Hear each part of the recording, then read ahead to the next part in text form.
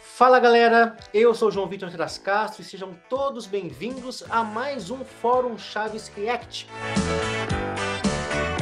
É ou não é Lucas de Brito? Isso aí, fala galera, sejam todos bem-vindos ao nosso React. E hoje a gente tem coisa especial. Hoje a gente tem o quinto episódio de Chaves, que não é bem o quinto episódio de Chaves assim, na época que ele foi lançado. Na verdade, se trata de uma compilação de reprises do ano anterior, de 1972.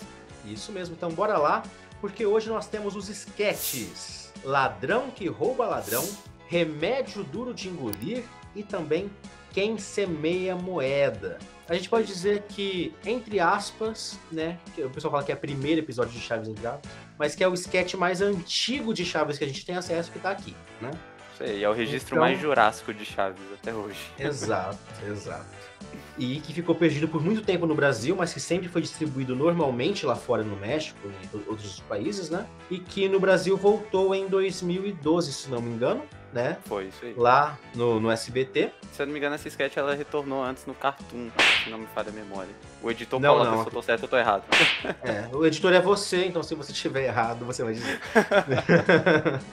Mas de qualquer forma, vamos começar então, que é de React que a gente gosta. Então vamos começar em 3, 2, 1, já!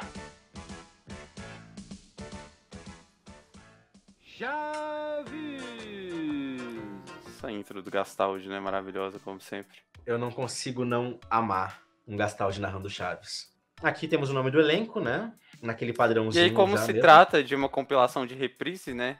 Ou seja, Uhum, nada é inédito aí, então a gente não tem o que tava já tradicionalmente, né? As sketches de abertura. exatamente. Aí é uma abertura meio que padronizada do começo da, da, da temporada, né? Por exemplo, a tinta amarela ali, já vista agora há pouco, né? Digamos assim, no episódio anterior. Sim. Precisa de dinheiro, né? Sim. Olha a inserção da Televisa aí. Opa, um set da Televisa. Essa sketch ela já foi feita remake, né, no, no Chapolin, em mais de uma ocasião. É, algumas. Inclusive, eu acho que essa versão que a gente tá assistindo já pode ser um remake também. Mesmo sendo de Pois é. 72. Pois é. Acho que Se a tem gente levar em 70, considera- 71. Se a gente levar em consideração que também. Super Genius, ela mesa quadrada, é desde 70, né? Então, Uhum. a gente tem dois anos aí, quase. Até porque a gente não sabe o mês exato, zoa, né? né? de- a gente não sabe o mês exato, né? De quando foi exibido esse programa dentro do programa X-Espírito.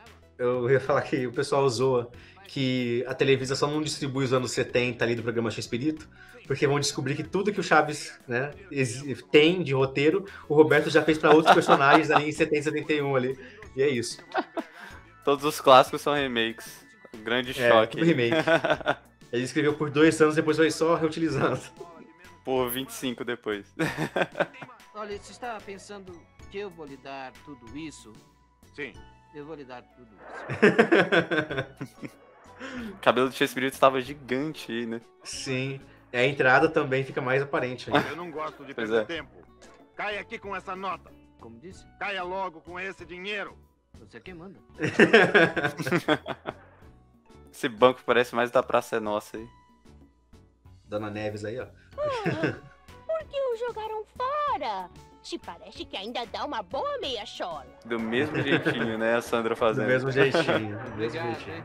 Não vai me levantar? Ai, não me tente. Senão eu te levo pra casa. que velha safada. Ah, é que sou uma orfanzinha. Ela é um jogo de loteria. Exatamente. É um prêmio. É um bilhete, na verdade. né? Me devolve o meu dinheiro. Ah, que devolve aqui. E pra que você vai querer se tá fazendo hora extra no mundo? É grosseiro. Que sacanagem. O que aconteceu com a senhora? O cara tá do lado. E o que aconteceu com a senhora? É um sketch bem praça mesmo, né? Que as coisas acontecem do lado da Total. pessoa e a pessoa não tá vendo. Escuta, Tem que cara. perguntar. Que- Quero lhe fazer uma pergunta. Qual? Que, hora, que horas são aí? Não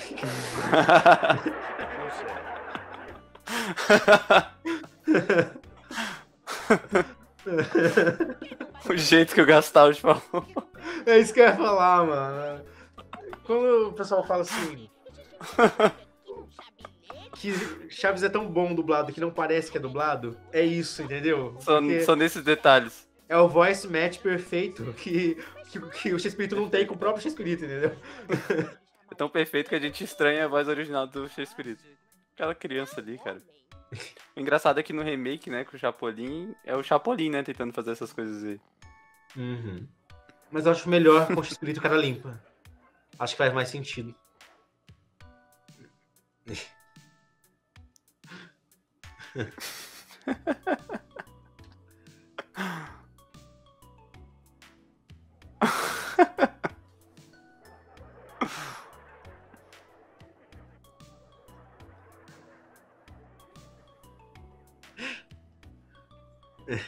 É muito genial.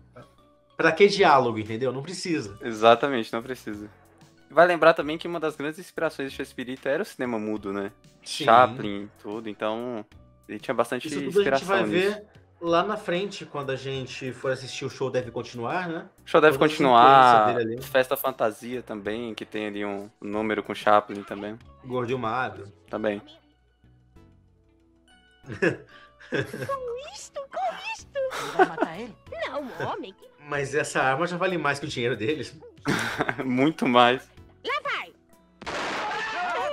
Eu, eu me rendo, pelo Esse pulo de espírito aí. Ele queria rir ele agora. Ai, o que a gente tem que fazer para ganhar 500 miseráveis cruzados por dia? 500 cruzados num só dia? Não, por hora, sim, sim. Não dar as boas festas. Aqui uma, uma esmolinha, por favor. As boas Eita! E tá lá. O registro mais antigo de chaves que a gente tem disponível, oficialmente falando. Então aí a gente já tem inúmeras diferenças, né? Que a gente tá acostumado na fase clássica. Eu tive o desprazer de assistir esse episódio pela primeira vez com a dublagem Gábia dos DVDs. É, eu fugi disso aí, ainda bem. Então eu fiquei muito feliz quando eu finalmente pude assistir. Acho que ainda tinha arquivos de internet, na internet de gravações de VHS e tal, Tinha. é, em, em baixa qualidade, mas eu não procurava na época. Então eu assisti mesmo em 2012 no no SBT quando voltou. Então a experiência de ver isso com dublagem maga é, é maravilhoso, É sabe? Extraordinário. É muito maluco, né? A gente vê um Madruga morando no 14. O próprio design aí da O vila figurino. mesmo não ser o tradicional. Esses, esses tanques frontais, né? Com as câmeras. Bastante e, passagem tipo, de pedestre. O, o choro do Chaves, que é um grito, né? Normal, né? O que aconteceu, Chaves? Choro normal de criança. O teu pai cuspiu de mim. E o Gastaldi, o Gastaldi não, o Espírito, visivelmente, né? Tudo bem que só teve um ano de diferença, mas ele tava mais esguio ainda, né? Mais magrinho, mais nanico, né? E tem aquela coisa também, né? Selecionaram as sketches, né, de maneira bem aleatória, porque agora há pouco a gente reagiu a um episódio é, que tinha a mesma estrutura aí do, do, do remédio, né? Da Sim. Chiquinha doente e tal. O episódio do Catapora, né? E o- É, a e- mesma piada dele cuspindo, remédio e tudo. Então, É. assim, é uma coisa desde 72, né? Esse, esse Sim. esquema, né, de piada. E o Chaves com a bola, que seria do Kiko depois, quando o Kiko ainda nem existia. E É o gorro do isso. Chaves in- inteiro, né? Antes dele ficar destruído Inteiro. anos depois. A gente viu esse gorro ser destruído com o tempo. Né, em 75 ele tá completamente esbagaçado, né? Que é quando troca, né? Porque tem, quem... tem ele, tem um intermediário a ele e tem aquele que é de 77 pra frente, né? Sim, sim. Inclusive, pra quem leu ou tem já o Diário do Chaves, a edição atual da Pipoca Nanquim, a gente fez os extras ali. Então a gente explica a transição, inclusive de figurino entre temporadas de Chaves. Então Sim. essa questão do gorro também é um, é um assunto que a gente toca ali no- nos textos, as legendas das fotos. A camiseta é bem menor do que ele usa em, em 73 mesmo pra valer, né? Com a branca com cinza e tudo. O momento aqui, então, para um personagem icônico de Chaves, também num episódio único, que é o Roupa Velha. O que é isso, Chaves? Ah, uma curiosidade, esse episódio foi redublado no Multishow porque a Televisa não encontrava o arquivo com a dublagem. Então não foi culpa do canal, foi culpa da Televisa que não pôde enviar o arquivo a tempo.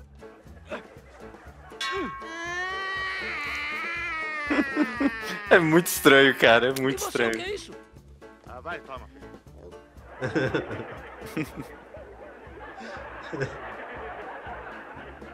Olha lá, a cara.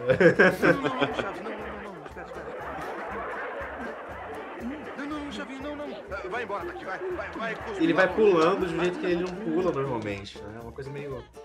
É todas as reações Oi. dele, né? Completamente diferente. Sim. Essa camiseta do Ramon é a mesma que ele usa. Ele usa depois essa camiseta, não usa?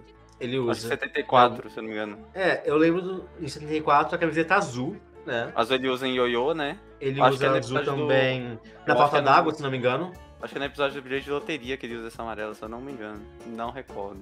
Deixa eu ver mais pra frente, né? Esse princípio é, de, de ideia, assim, de alguém dentro de, de outro lugar e tal, me lembra também quando o Kiko fica preso na caixa de madeira. Né? Sim. Ah, um detalhe também que vale a pena citar é que esse cenário da vila ele também foi compartilhado com outro programa na época, né? Los na época da TV tinha ainda. Sim, na época da TV tinha ainda, né? Então A a gente TV tem Independente registro. do México, isso mesmo. A, a gente Tem tem, registro, né? Registro em vídeo, né? Completinho mesmo o sketch ali, que não era nada definido. Prova de Esse que esse cenário. cenário era um cenário mais aleatório e que só depois que o Espírito falou assim: não, não, então deixa eu desenhar do jeito que tem que ser porque é fixo. E assim, né, maravilhosamente ficou. Se a gente parar pra pensar no. Nossa! E não é fake, hein? Olha, antes do seu Madruga apanhar pra Dona Florinda, ele apanhava com roupa velha lá. Voltando ao raciocínio que eu tava falando, se a gente Uhum. parar pra pensar no sentido de roteiros aleatórios, em lugares aleatórios, talvez o começo de Chaves tenha sido assim, lugares aleatórios Aleatório, né? histórias aleatórias, e a vila só foi mais um lugar aleatório, até virar em definitivo, né? Então, aí eu já acho que já foi um momento fixo, né? Que não tem uma data específica que a gente saiba quando que o Kiko apareceu e quando é, isso foi feito, né? Esse cenário foi estabelecido dessa maneira. Mas já tá diferente, como você vê. sim. A Chiquinha já mora no 7.2 com o pai, o Kiko já vem do 14. Apesar de É, que na questão de figurino, a Chiquinha tá muito parecida ainda com, com Assim, remédio duro de engolir, né? Assim como Chaves, né? Também. Então ali a gente pode colocar, talvez, sei lá, no máximo. Se, a gente parar pra pensar no esquema de gravação deles, né? Que era mensal. Então É, a uns era dois meses. remontada mensalmente, uns dois meses. É. Dois, três meses estourando. A blusa amarela de novo, mas o chapéu já clássico. Uhum. E a calça do Chaves, né? É, É, tá, tá Ela diferente realmente ali o necessitava, né, de suspensório, né? Sim. Sabe o que eu lembro desse, desse sketch? Aquela despedida do Kiko no Domingo Legal? Que aí vem a narração, aquela voz, como se fosse o Kiko velho falando pro Vilagrã. Lembra? Desde a moeda perdida. Acompanhei você até agora, papi. Muito brega, cara. E agora eu me despeço de você. Aí eu fiquei tipo, cara, foi só Seja mais uma feliz. despedida, tá ligado? Haver isso. Seja feliz, seja feliz. Porque é por causa de vocês que eu, como que fala? Almoço. Sim. Maravilhoso. E foi por aqui que eu perdi. Ele é redondinho, prateado como prata. Sim, eu encontrei. Ai, obrigada. Descrição mais genérica possível de uma moeda. Porque apostamos no futebol. Eu apostei na Ponte Preta e você no Palmeiras. Cara, maga, né, mano? Maga demais. Qual lote essa dublagem? 88. Não, faz sentido. É a Chiquinha certa com a dubladora certa. Puro suco de Chiquinha, né? É. É a Chiquinha. Ah, a Chiquinha, entendeu? A Chiquinha do Roberto, como eu sempre falo. Mas. Como que é mesmo? O João Vitor é passivo-agressivo, né? Sempre bom citar, né? Sempre, Sempre bom bom. citar. citar. Cara, eu O Felipe fico nessa época agoniado. no ápice da, da escrita dos personagens. Exato, da criação. Eu fico chocado vendo essa gravata do Kiko, porque dá agonia, eu quero trocar ela pela mais. É, e no começo do conhecida, 7.3 né? é essa mesmo, só que descida, né? É. No episódio da, da galinha. Da galinha? Sim, sim. Não lembro. Eu não lembro como tá no, naquele, naquela festa da vizinhança ali, mas. E o cabelo do Villagrán. Acho legal o, a- o cabelo do X-Espírito saindo do gorro, tanto na Uhum. parte de trás quanto na parte da frente, porque isso, nossa, só inserção maravilhosa aí. É, Olha, Chaves, por acaso você sabe como se chama um animalzinho negro que caminha pelo Ah. chão e que tem oito patinhas? Claro, é a formiga. E te bate na barriga? clássico. 72 a gente já tinha isso. Qual é o passarinho que tira o mel da flor? Claro, beija-flor. que te acerta o cheirador. Muita gente fala do Kiko, né, nesse início, dessa interpretação diferente do Villagrán, a própria escrita do Chespirito, mas a gente tá vendo aí um Kiko mais puxado pro clássico, né? nessa Sim, cena, sim. nessa sequência. É, já é um Kiko que a gente reconhece. Sim, É mais quando ele anda, quando ele tá saltitante, que ele é muito caricato, né? sim. É que o figurino não ajuda, né? É, é Também, também. Beija-flor. Que te acerta o cheirador. É visível, é visível que desde o começo o X-Espírito ganhou muito dinheiro, principalmente em 72, pra arrumar os dentes de fumante dele, né? Cada close Com é uma certeza. tristeza. O que que foi? O beija-flor pegou de novo meu cheirador.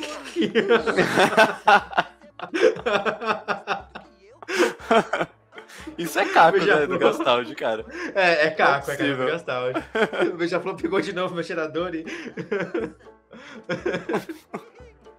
Cara, é só gastar hoje. Tipo o coisa lá que eu falei. É. Você sabe qual é a esposa do ganso? Não é a formiga? Qual formiga? A que te bate na barriga? Eu já te disse, Chiquinha. Eu já te avisei. E Isso aí é antes do Segoviano, né? Figurante passando. eu acredito que seja. Porque o corte foi muito brusco ali, né? É. O senhor bateu na Chiquinha? Nossa. Já vem a chamada também dos semelhantes na cabeça. Também. Uma vila um pouquinho diferente. com roupas Foi diferentes. animal Que bate nos seus filhinhos. Vamos ver os créditos. Quero ver os créditos. Vamos lá.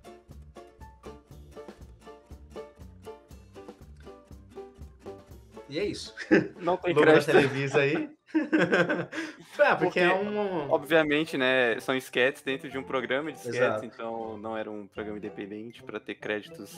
Eles podiam ter feito os créditos ali bonitinhos, é, feitos pra aquela exibição? Podiam. Mas é Televisa, né? Então desde aquela época não decepcionam. É, exatamente. Desde aquela época lá é não é o esperado. Então vamos lá. Primórdios de Chaves. Primeiros sketches em relação a sketches mais antigos que nós temos acesso, né? Sem dúvida não Sim. é o primeiro de Chaves feito lá em 72, é o que dava pra colocar ali. É o mais próximo possível da, daquilo, né? É, só não temos acesso a 72 completo porque a Televisa nunca quis.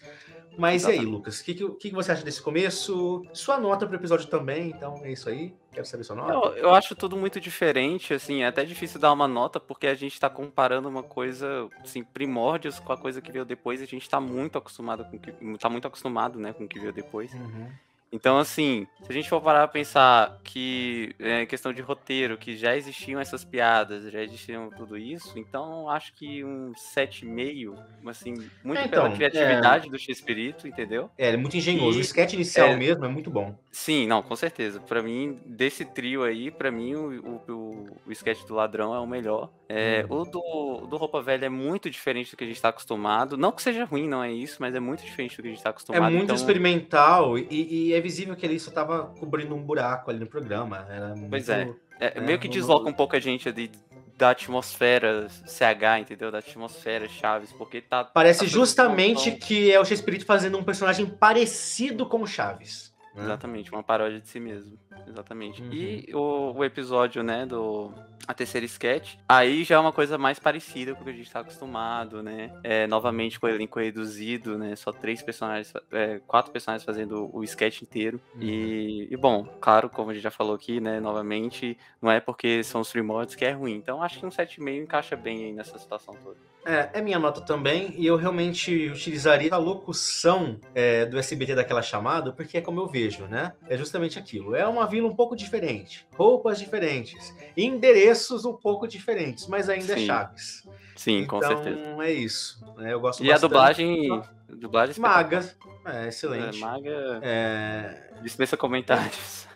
dispensa comentários, né? E, claro, é, vou dar nota 7, porque tem coisa boa ainda pra vir que eu acho que é mais justo dar a nota merecida lá na frente. Não, com certeza. E, são e dentro, dentro da reprise mesmo, a gente vai ver, né, essa- essas próximas Muita coisa semanas genial. só de reprises. Então, assim, a gente vai ter versões iniciais de episódios, por exemplo, como o Festival da Boa Vizinhança, que comparado a essas sketches de hoje, são muito melhores, né? Esses roteiros bastante mais é, engenhosos e mais bem, bem executados, né? Mesmo nos primórdios. E é aquele tipo de curiosidade que a gente fala aqui pra você, porque a gente tá nessa há muito tempo, são 13 anos de Fórum. Chaves.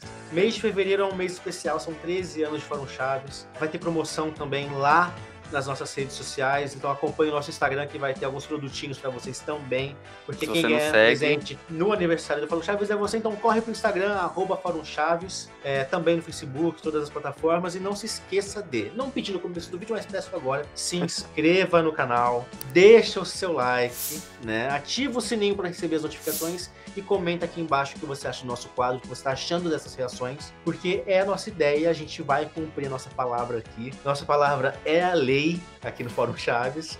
Isso então aí. vamos reagir a todos os episódios da Era Clássica. E a gente pretende também fazer react do que vem, veio depois. Claro, a gente vai vendo as possibilidades, porque não dá pra gente passar 16 anos. É, é um, é um pouco, assim, ó, bem pouquinho É um, complicado um mesmo. pouquinho Mas, complicado. mas claro Mas- que dependendo, né, de como vai ser, a gente fazer esse balanço geral quando acabar, né, é, essa fase clássica, vamos ver como é que a gente executa aí essa, esse planejado, né, de fazer o resto, mas a fase clássica 73, a 79 no Chapolin e 73 a 80 no Chaves, você vai conferir aqui no Fórum Chaves React. E é isso aí, então. Muito obrigado. E ah, é, depois de amanhã, né, Lucas? Quinta-feira tem Depois de vídeo. É Chapolin Colorado. Então, se despeça do nosso público. Deixa pra você agora. A gente agradece muito a, a sua presença, a gente agradece também a repercussão nesse primeiro mês de React.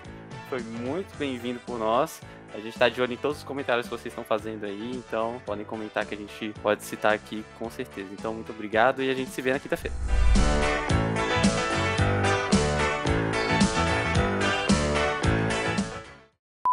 E sejam felizes, né? É isso.